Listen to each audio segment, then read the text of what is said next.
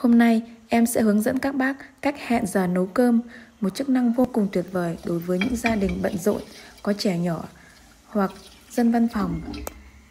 Chức năng này có ở hầu hết các nồi cơm điện nội địa Nhật Bản. Hôm nay em sẽ hướng dẫn các bác đối với nồi Toshiba cao tần áp suất hút chân không. Đầu tiên các bác vo gạo như bình thường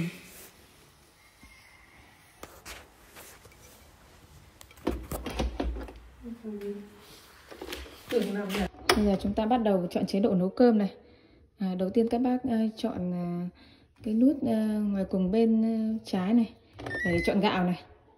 Ở đây có các chế độ là gạo trắng này uh, Gạo uh, không vo Gạo uh, gạo lứt này.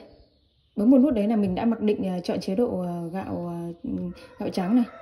Cái là gạo đã vo đấy Bây giờ chọn chế độ nấu này. Đấy. Bây giờ em đây này cái chế độ mình bấm lên này là chế độ gọi chọn cơm ngon này. Đây là cái nút hẹn giờ. Đấy hẹn giờ. Bấm này.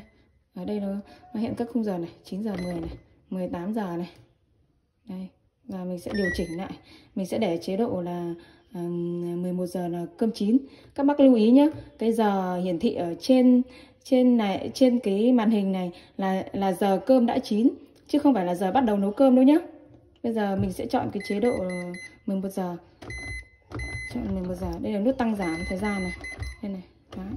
Giảm này. Tăng này. Chọn 11 giờ là cơm chín này. Đó. Và nhấn nút này là bắt đầu nấu này. Đó.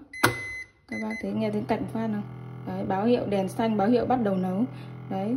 Ban đầu thì nồi nó sẽ kêu hơi gì gì để nó hút cái chân không, cái không khí ở bên ờ, trong nồi ra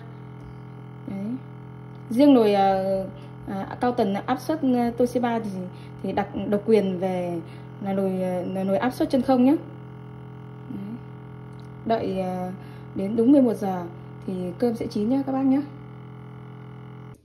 sau 55 phút cơm chín sẽ báo tiết 3 lần và nó có cái biểu tượng như thế này nhé ừ, và đây là chúng ta cùng xem thành quả nhé đây, ừ, cơm chín. Đây là em đã sửa ra một chút để ăn trước rồi đây. Cơm mềm dẻo và chín từ chín từ lõi. Nó khác với cả cái dòng Hitachi. Là cơm chín thì sẽ hơi ẩm.